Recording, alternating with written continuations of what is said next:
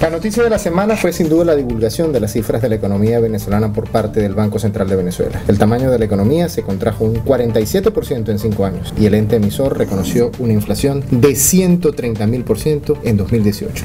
La buena noticia de la semana fue la separación de las siamesas Ana Ruth y Ana Saraí Pertus en el Hospital Universitario de Maracaibo. Las próximas 72 horas son claves en la recuperación de las niñas, dijeron los galenos zulianos que la operaron.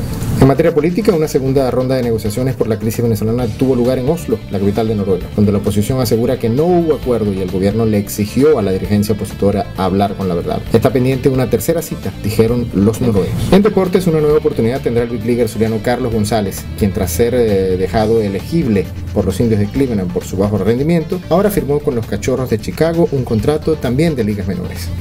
En espectáculos, la vida personal y profesional de José Luis Rodríguez el Puma será el tema central de una serie de televisión.